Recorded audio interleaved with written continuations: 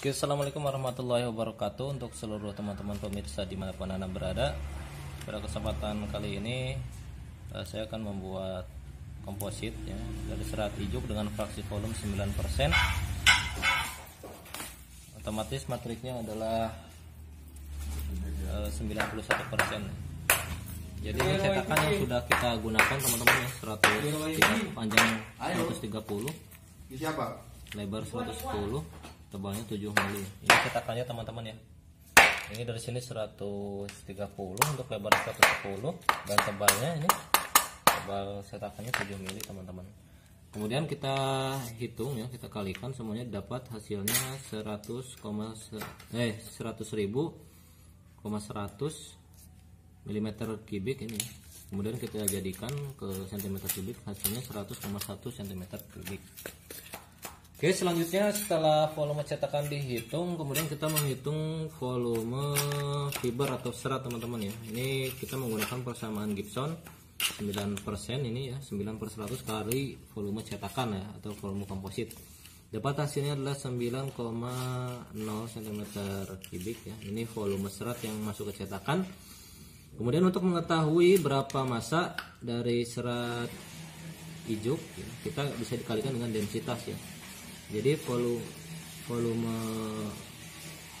filler atau serat kita kalikan dengan densitas. Nah, ini dapat dari kita ngitung kemarin ya teman-teman. Ada videonya bisa dicek. Dapatlah hasilnya 2,7 027 gram serat ya.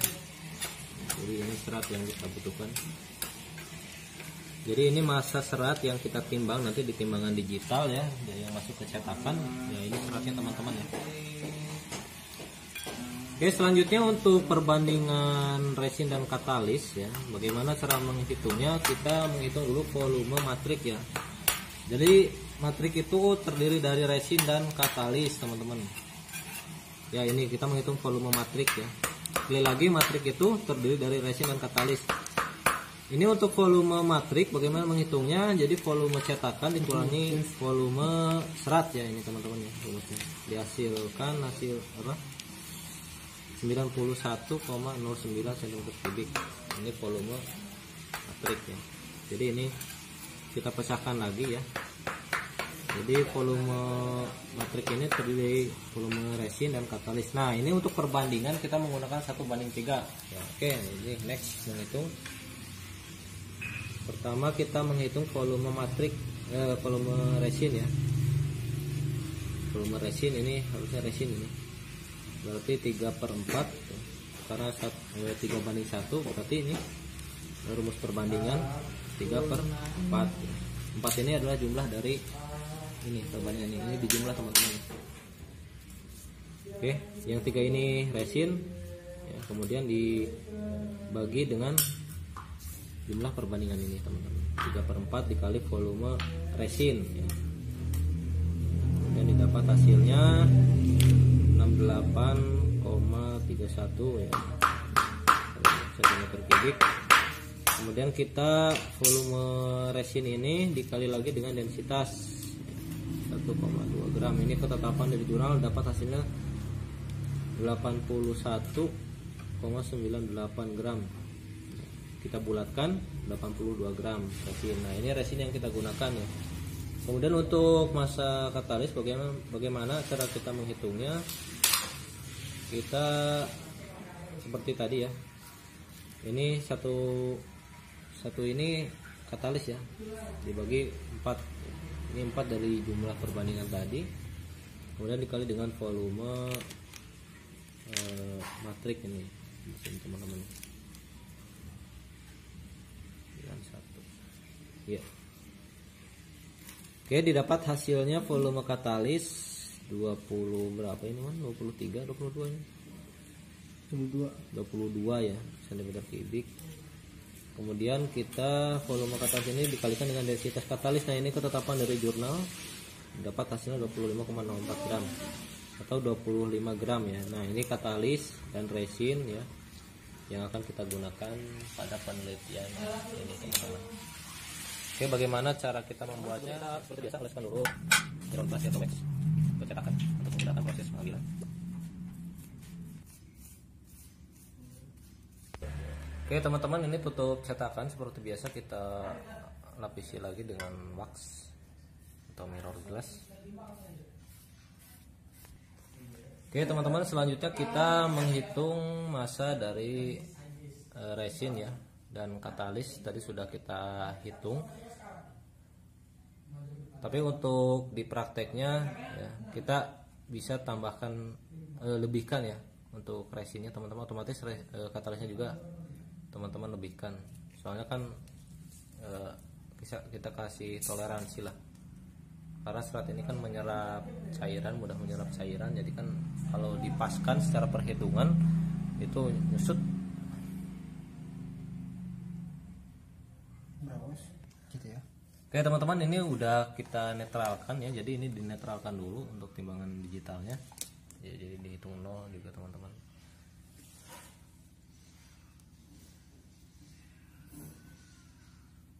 Masukin aja lah. Oke teman-teman resin sudah masuk ke wadah yang sudah kita siapkan. Kemudian kita campurkan dengan katalis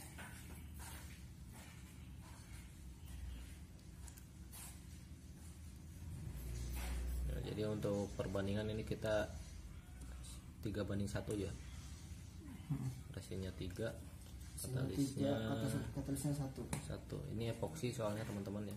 Ini kelemahannya emang e, lama kering ya. Bedanya dengan polyester. Tapi lebih bagus ini. Silahkan diaduk dengan santai ya karena ini juga nggak cepat kering. Oke jadi ini teman-teman serat yang kita gunakan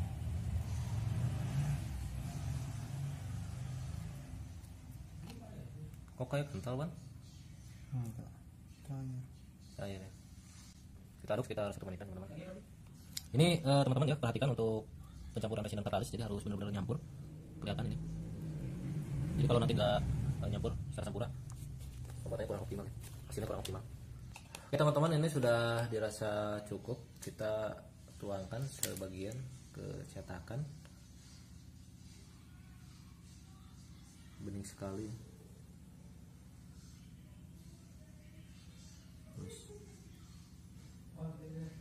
untuk epoxy kita santai saja karena e, keringnya lama.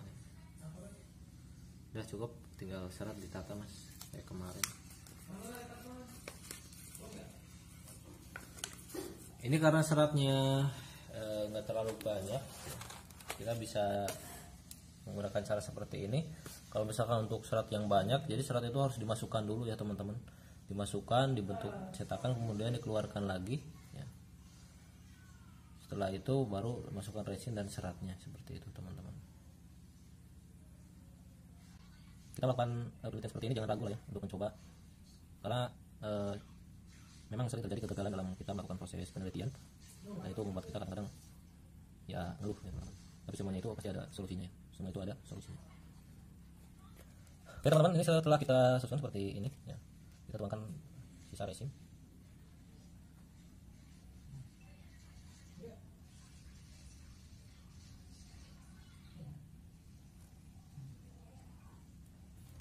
ampun. Sudah ikut lagi. Sudah siaran ikut. Oh jatuh tuh ya teman-teman ini sudah bisa kita tutup ya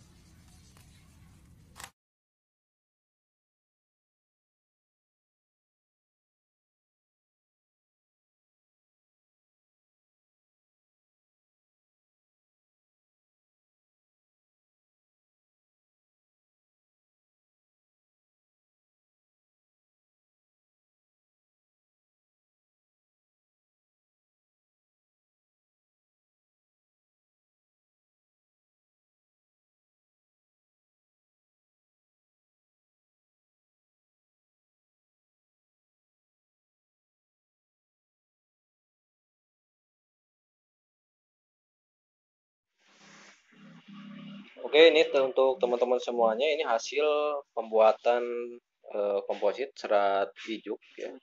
Yang 9%. Jadi tadi kita mengalami kendala teman-teman ya untuk melepas ya, eh, komposit serat ijuk ini dari cetakan. Nah, kita siasati supaya tidak lengket lagi. Ini khusus untuk epoksi teman-teman ya. Jadi seperti ini teman-teman ya. Ini bawahnya kaca ya. Kaca terus kita olesi wax kemudian kita uh, tambah ini alas dengan menggunakan kertas nasi ya. Kertas minyak ya. Jadi supaya nggak rapat. Jadi untuk pengeringan kita nggak ditutup teman-teman. Oke teman-teman seperti ini ya cara kita uh, rangkai cetakan oke teman-teman kita uh, uh, rangkai cetakan jadi seperti ini oke solatif pakai lakban nanti? Jadi nggak pakai lem supaya ketika proses pembongkaran spesimen tidak seperti tadi jadi saya nggak videokan tadi Wan, jangan ini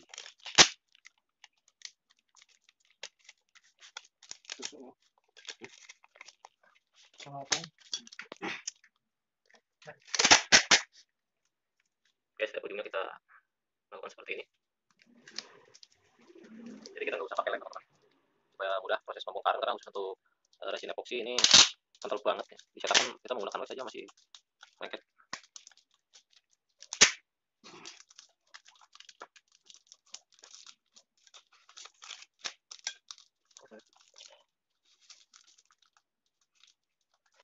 Oke teman-teman kita lapisi dengan pelumas ya, seperti biasa supaya tidak lengket ya nanti kompos ketika dibongkar.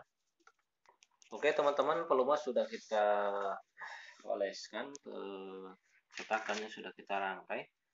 Ini kita tinggal menuangkan resin ya. Resin ini seperti biasa ya takalnya sama. Jadi supaya pas ya supaya nggak kurang nggak lebih. Jadi volume ini cetakan dikali dua ya teman-teman kira-kira segitu ya resin yang nanti kita gunakan dan untuk seratnya ini sudah kita hitung dari kebutuhan seratnya ini yang 12% serat ijuk ya khusus untuk e, epoksi jadi proses pengeringan lama jadi kita bisa santai ya teman-teman untuk membuat ini kompositnya tidak seperti polyester ya. Oke, saya skip dulu. Kita kita ada seperti biasa. Saya sekali lagi ini perbandingannya satu banding tiga ya satu banding tiga. Oke teman-teman kita tuangkan resin epoxy ya sudah dicampur dengan katalis. Gimana hasilnya ini? Coba dikit dulu, tembus nggak Aman ya? Kata ya nggak tumpah ya? Itu teman-teman, seperti ini bening sekali untuk epoxy. Kita penyusunan cara seperti biasa ya, arah transversal ya, dari panjang cetakan. Coba tanya tanya buat coakannya gimana? Di mana? Apa di tempat pengujian? Ya ujinya di mana gitu tanya? Iya. Berapa duit? Ya itu satu spesimen dua ribu. Oh. Dan kita yang uji kan sendiri. Iya. Oh, dan didampingi itu. Pokoknya harus berdua ujian ini. Takutnya ada yang kurang paham kan ada yang nggak ngerti. Oh, ini. Coba. Hmm. Kaki kanan ya. Kaki kanan lebih. Coba. Oke seperti ini teman-teman ya. Susun. Ini yang 12 persen. 12 persen. Perbedaannya ini lebih kalau yang 9 persen lebih sedikit seratnya kalau ini lebih banyak. Yang lebih rapi lagi. ya. Oke teman-teman kita tuangkan resin yang sudah kita campur dengan katalis. Jadi seperti ini teman-teman ya. Ini kalau secara perhitungan eh, harusnya nggak sebanyak ini, cuman kenapa kita lebihkan? Karena untuk eh, menghindari penyusutannya teman-teman. Karena ini kan serat kan mudah menyerap cairan. Jadi harus dikasih toleransi seperti itu teman-teman. Terus sekali. Jeruk pokoknya ke sana ya, Wan. Kayak mereng ke sana enggak? Enggak. Hmm, kan tuh. Oh, itu situ le Uber ya. Oke, seperti itu teman-teman. Kita tunggu 8 jam